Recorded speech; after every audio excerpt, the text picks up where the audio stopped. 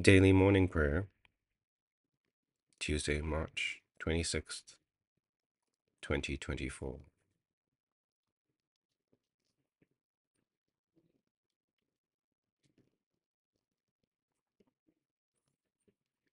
Is it nothing to you, all you who pass by?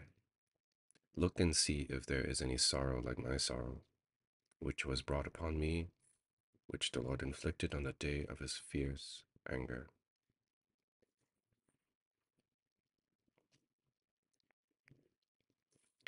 Dearly beloved, the scriptures teach us to acknowledge our many sins and offenses, not concealing them from our Heavenly Father, but confessing them with humble and obedient hearts, that we may obtain forgiveness by His infinite goodness and mercy. We ought at all times humbly to acknowledge our sins before Almighty God, but especially when we come together in His presence, to give thanks for the great benefits we have received at His hands, to declare His most worthy praise, to hear His holy word, and to ask for ourselves and on behalf of others those things which are necessary for our life and our salvation. Therefore, draw near with me to the throne of heavenly grace. Almighty and most merciful Father, we have erred and strayed from your ways like lost sheep. We have followed too much the devices and desires of our own hearts. We have offended against your holy laws. We have left undone those things which we ought to have done, and we have done those things which we ought not to have done. And apart from your grace, there is no health in us. O Lord, have mercy upon us. Spare all those who confess their faults. Restore all those who are penitent, according to your promises declared to all people in Christ Jesus our Lord. And grant, O most merciful Father, for his sake, that we may now live a godly, righteous, and sober life to the glory of your holy name. Amen. Grant your faithful people, merciful Lord, pardon and peace, that we may be cleansed from all our sins and serve you with a quiet mind, through Jesus Christ our Lord. Amen. O Lord, open our lips, and our mouth shall proclaim your praise. O God, make speed to save us. O Lord, make haste to help us. Glory be to the Father, and to the Son, and to the Holy Spirit, as it was in the beginning, is now, and ever shall be, world without end. Amen. Praise the Lord. The Lord's name be praised. Uh, the Lord is full of compassion and mercy. O come, let us adore him. O be joyful in the Lord, all you lands. Serve the Lord with gladness, and come before his presence with a song. Be assured that the Lord, he is God. It is he that has made us, and not we ourselves. We are his people and the sheep of his pasture. O go your way into his gates with thanksgiving, and into its courts with praise. Be thankful unto him, and speak it of his name. For the Lord is gracious, his mercy is everlasting, and his truth endures from generation to generation. The Lord is full of compassion and mercy. O come, let us adore him.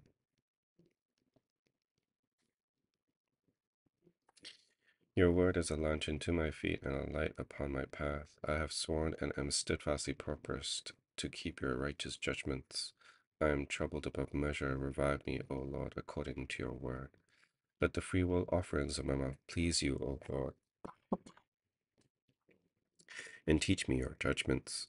My life is always in my hand, yet I do not forget your law. The ungodly have laid a snare for me, yet I have not strayed from your commandments. Your testimonies have I claimed as my heritage forever, and why they are the very joy of my heart. I have applied my heart to fulfill your statutes always, even unto the end. I hate those who are double-minded, but you, but your law do I love. You are my defense and shield and my trust is in your word. Away from me, you wicked. I will keep the commandments of my God.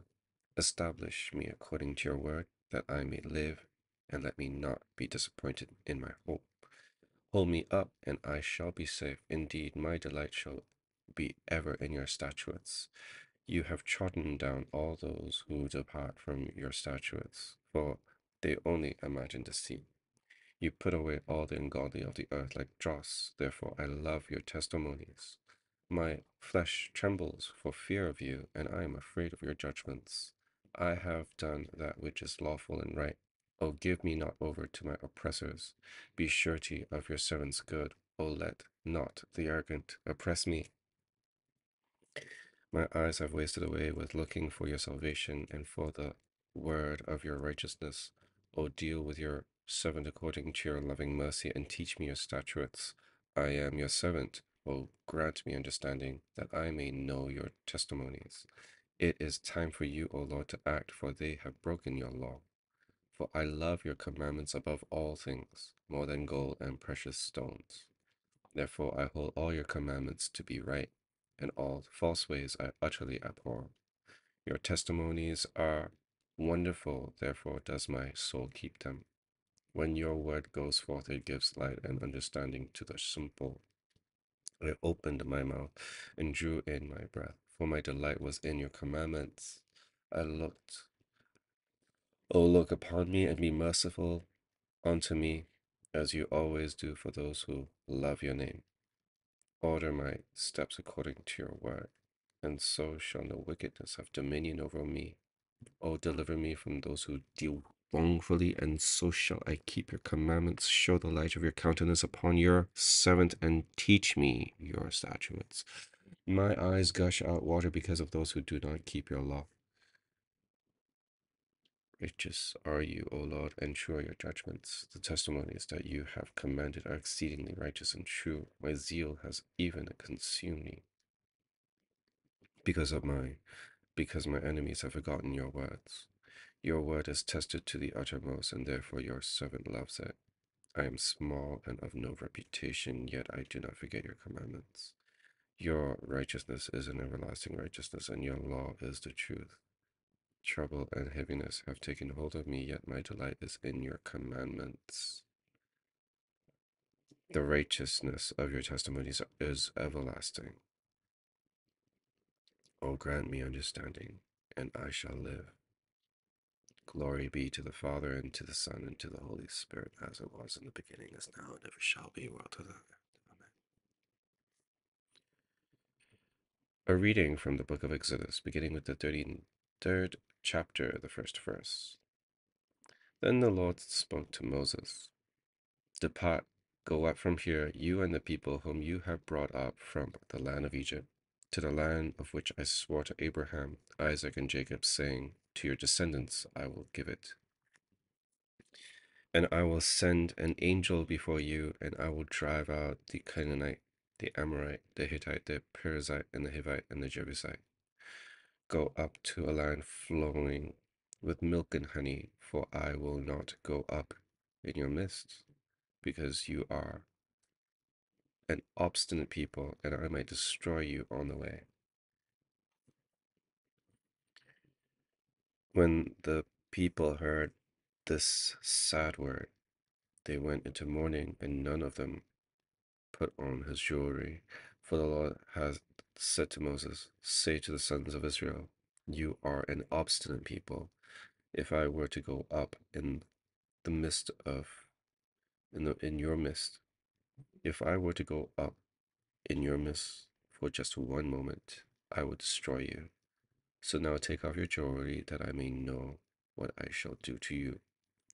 So the sons of Israel stripped themselves of their jewelry from Mount Horeb onward. Now Moses used to take the tent and pitch it outside the camp, a good distance from the camp. And he called it the tent of meeting, and everyone who sought the Lord would go out to the tent of meeting, which is outside the camp. And it came about whenever Moses went out to the tent that all the people would arise and stand each at the entrance of his tent and gaze after Moses until he entered the tent. Whenever Moses entered the tent, a pillar of cloud would descend and stand at the entrance of the tent, and God would speak with Moses. When all the people saw the pillar of cloud standing at the entrance of the tent, all the people would stand and worship, each at the entrance of his tent. So the Lord used to speak to Moses face to face, just as a man speaks to his friend.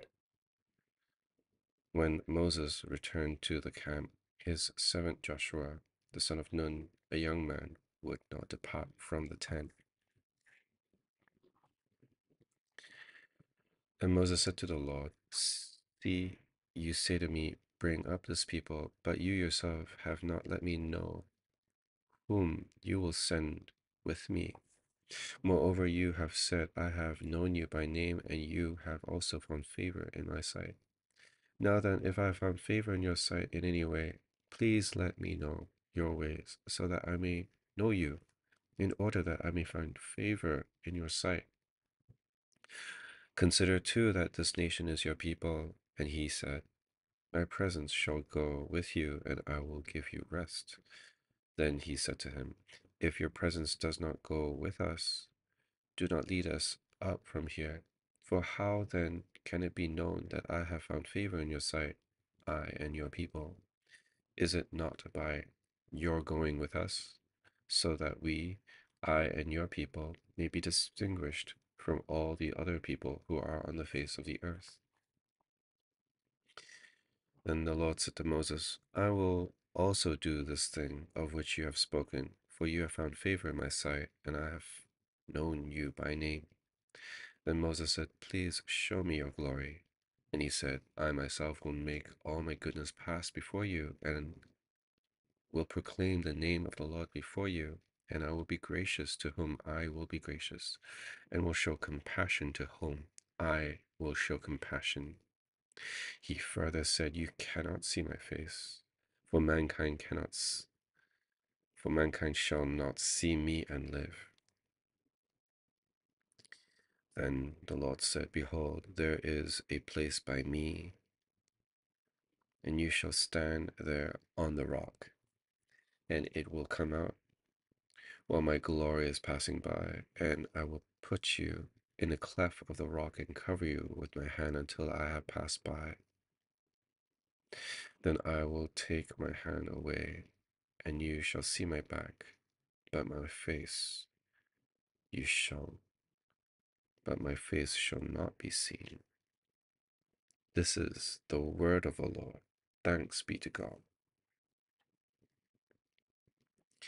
Glory to you, Lord God of our fathers. You are, gl- you are worthy of praise. Glory to you. Glory to you for the radiance of your holy name. We will praise you and highly exalt you forever.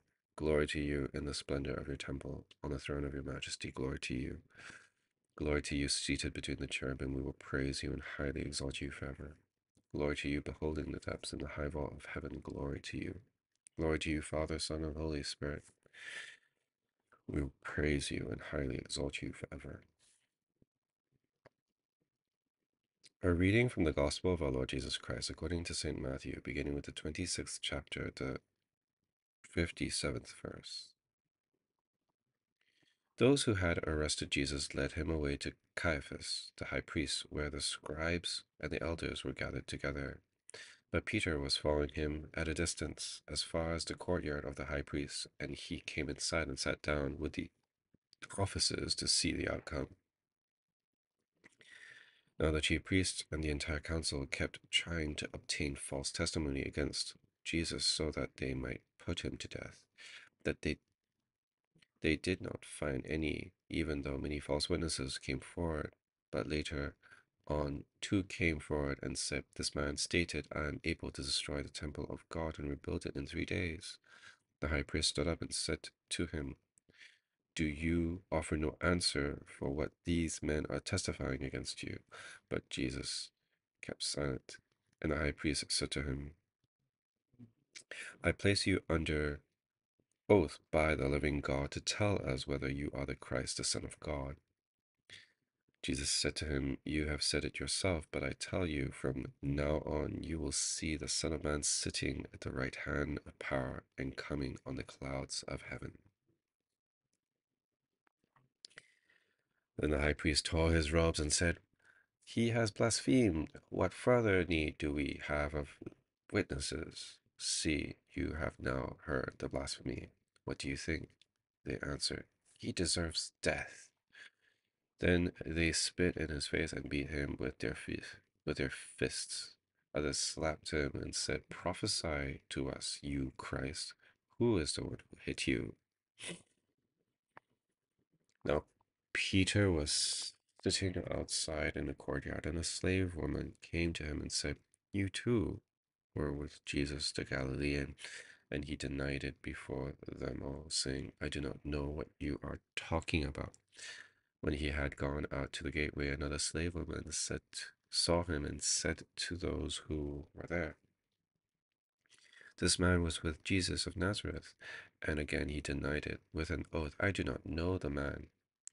A little later, the bystanders came up and said to Peter, You really are one of them as well, since even the way you talk gives you away. Then he began to curse and swear, I do not know the man. And immediately a rooster crowed. And Peter remembered the statement that Jesus had made Before a rooster crows, you will deny me three times. And he went out and wept bitterly. This is the word of the Lord. Thanks be to God. Blessed be the Lord, the God of Israel. He has come to his people and set them free. He has raised up for us a mighty Savior, born of the house of this of his servant David.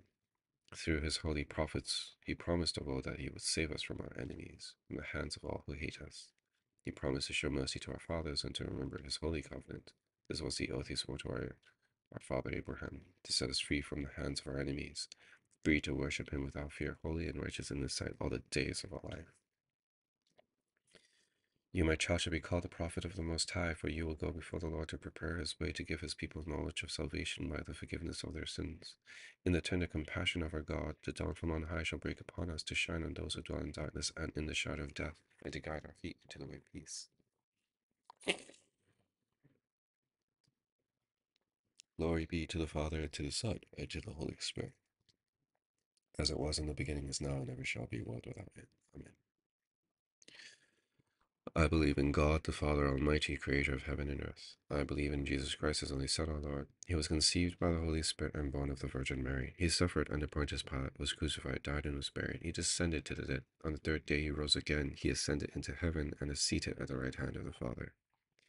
He will come again to judge the living and the dead. I believe in the Holy Spirit, the Holy Catholic Church, the communion of saints, the forgiveness of sins, the resurrection of the body, and the life everlasting. Amen. The Lord be with you and with your spirit. Let us pray. Lord, have mercy upon us. Christ, have mercy upon us. Lord, have mercy upon us. Our Father, who art in heaven, hallowed be thy name. Thy kingdom come, thy will be done, on earth as it is in heaven. Give us this day our daily bread, and forgive us our trespasses, as we forgive those who trespass against us. Lead us not into temptation, but deliver us from evil. For thine is the kingdom, and the power, and the glory, for ever and ever. Amen. O Lord, show your mercy upon us, and grant us your salvation. O Lord, guide those who govern us, and lead us in the way of justice and truth. Clothe your ministers with righteousness, and let your people sing with joy. O Lord, save your people, and bless your inheritance. Give peace in our time, O Lord, and defend us by your mighty power. Let not the needy, O Lord, be forgotten, nor the hope of the poor be taken away. Create in us clean hearts, O God, and take not your Holy Spirit from us. O Lord our God, whose blessed Son gave his back to be whipped and did not hide his face from shame and spitting, give us grace to accept joyfully the sufferings of the present time, confident of the glory that shall be revealed through Jesus Christ our Lord, who lives and reigns with you and the Holy Spirit, one God, for ever and ever. Amen. O God, the author of peace and and a lover of concord, to know you is eternal life and to serve you is perfect freedom. Defend us, your humble servants, in all assaults of our enemies, that we, surely trusting in your defense, may not fear the power of any adversaries. Through the might of Jesus Christ our Lord. Amen. O God, you have made of one blood all the peoples of the earth and sent your blessed Son to preach peace to those who are far off and to those who are near. Grant that people everywhere may seek after you had found you, bring the nations into your fold, pour out your spirit upon all flesh, hate, and hasten the coming of your kingdom through Jesus Christ our Lord. Amen. Almighty God, Father of all mercies, we, your unworthy servants, give you humble thanks for all your goodness and loving kindness to us and to all whom you have made. We bless you for creation, preservation, and all the blessings of this life, but above all for your immeasurable love and the redemption of the world by our Lord Jesus Christ, for the means of grace and for the hope of glory. And we pray, give us such an awareness of your mercies that with truly thankful hearts we may show forth your praise not only with our lips but in our lives. By giving up ourselves to your service and by walking before you in holiness and righteousness all our days, through Jesus Christ our Lord, to whom with you and the Holy Spirit be honor and glory throughout all ages. Amen.